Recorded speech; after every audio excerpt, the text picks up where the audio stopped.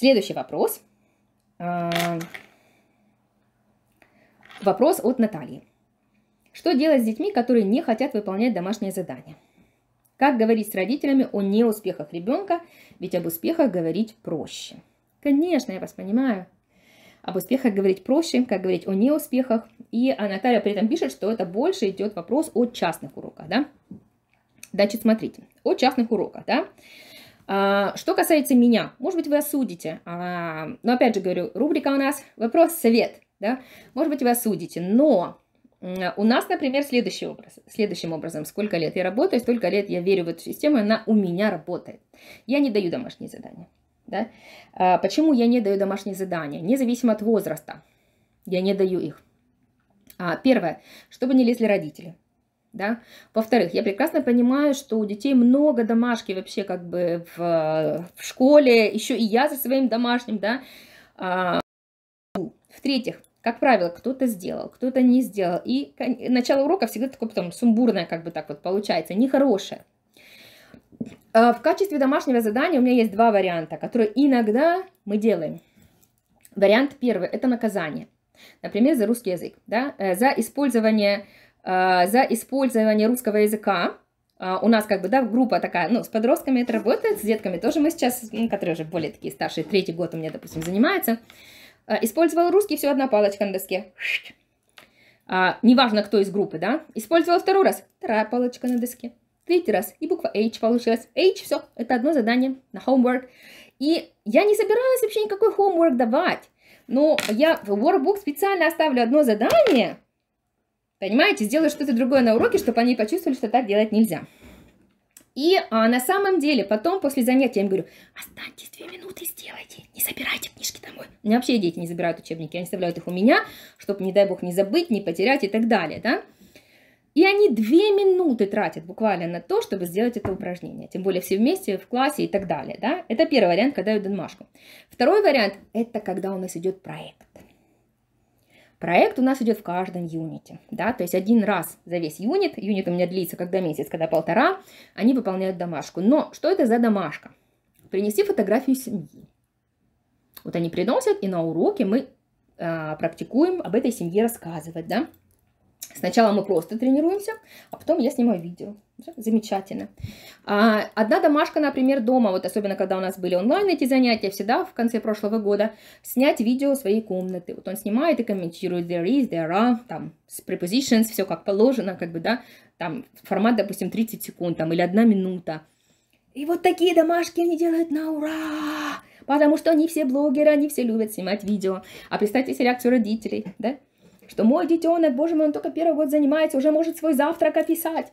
Тоже все это вы найдете, в принципе, в группе Cambridge English Великий Лукин, если вам интересно подобные домашки, которые вот мы даем. Вот, а что касается вообще а, домашних заданий и успехов, да, что такое успех и что такое неуспех? Давайте начнем с этого. Для каждого преподавателя, для каждой школы, для каждого центра это, это ваше личное мнение. У меня, например, в школе 75% это успех. То есть ребенок пишет юнит-тест, если у него меньше 75%, он его переписывает. А, если у него успехов за год меньше 75%, я общий потом результат считаю, да, а, то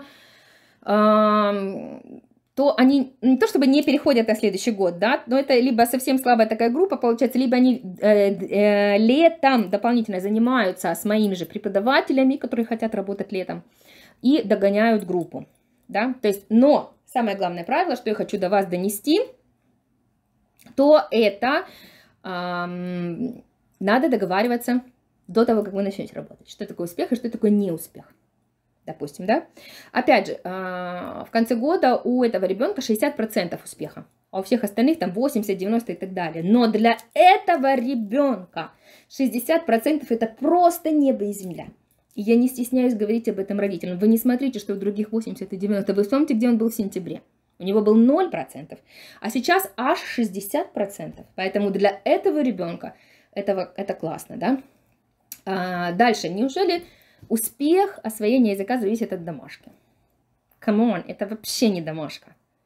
А, если я никогда не даю слова учить домой, А, workbook мы выполняем на уроке. Если интересно, я могу а, просто, ну, для этого нужно просто немножко другой формат, как бы, да, формат мастер-класса, такой, как workbook, в формат урока, как бы, ввести, и интересно, здорово это все сделать, not individual work, скажем так, да, поэтому, если интересно, напишите, и я тогда выделю отдельное время и покажу, как это все можно интегрировать сразу же в урок, да, вот. Я никогда не даю учить на дом список слов. Никогда. Понимаете, да, у меня есть в приложении написаны эти слова, но это чисто, чтобы ребенок видел, и ему было куда обратиться, чтобы повторить. Вот и все. Он хочет, хочет, поиграет ими. Какого тогда, извините, я не знаю, я делаю с ними тут 90 минут, если я еще им на дом даю домашку и столько слов учить. Какова моя роль вообще тогда? Понимаете? Поэтому а, я, вот, хорошо, я поняла ваш запрос, а, я сделаю workbook, интеграция workbook угу, в а, процесс урока. То есть, ну, вообще, я не знаю, да, что я тогда вообще с ними делаю 90 минут? За что я, я вообще получаю тогда деньги от родителей, еще и слова дети сами дома делают, и домашку еще сами делают? Что я тогда вообще с ними делаю? Понимаете?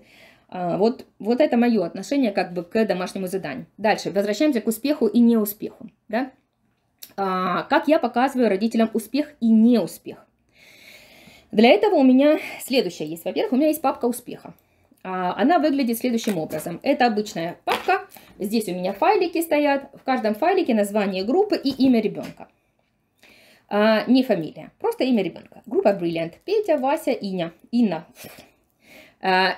Женя. Там, да? Четыре ребенка. Unit 1. Этот написал тест в 100% результатах, я считаю. У этого 60%, этого 67%, этого там 99%. И average, считаю средний балл какой. И вот родители знают, что они всегда могут прийти и посмотреть, да, эм, какой средний процент. Эта папка успеха стоит у меня в холле. И она доступна для всех. Пожалуйста, приходим и смотрим, да. Второй способ, опять же, возвращаясь к CRM. Если у вас есть удачная CRM, то вы там все это можете посмотреть. А, существует такая, такое понятие, как мой прогресс. Так, сейчас я войду под а, аккаунтом дочери для того, чтобы вам а, это показать, как это выглядит, да. То есть, а, еще раз говорю, я пользуюсь в этом году а, Big Bang CRM. У нас есть мобильное приложение, которое называется «Твоя школа». И, соответственно, там, кроме, вот, допустим, словарь, который я вам показывала, и тренировка слов, которую тоже можно делать, там еще есть у нас и а, трек успеха, да, прогресс успеха. Сейчас я вам покажу, что это такое у нас. Пойду, войду просто под аккаунтом дочери, потому что у меня там оценок нет просто. И покажу вам тоже. Один из способов, опять же, показать а, родителям а, успехи или неуспехи. Но однозначно, вы знаете, скрывать нельзя. Да? То есть надо всегда быть максимально честными и открытыми, что получается, что не получается иначе потом вы э, на свою голову не беретесь а, проблем. Никто же не скажет там, что ребенок болел, ребенок не выполнял домашки, скажет, что вы плохая, что вы не научили, да? Вот смотрите, вот так вот выглядит в CRM у нас а, в приложении, да, успехи и неуспехи. Во-первых, видно расписание ребенка, и вот написано посещаемость 100%. Средний балл за тест 89.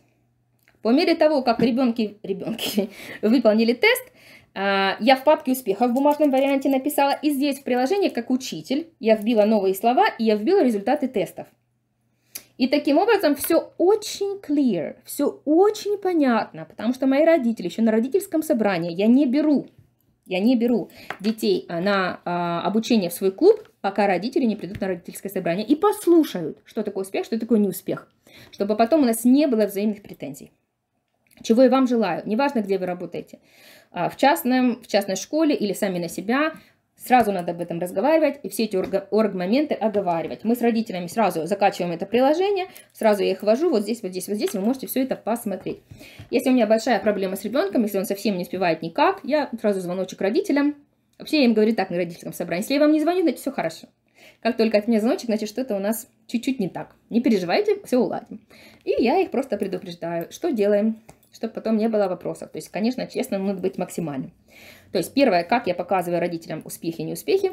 Папка успеха у меня есть на ресепшн, да. Второе, это вот в приложении. То есть, приложение всегда открыто. Оно одинаковое и у детей, и у родителей. То есть, они там видят. Третье, а, мы рассылаем письма. Да, два раза в год, вот на Новый год и в конце года мы рассылаем письма родителям. А, письма очень такого теплого, личного характера.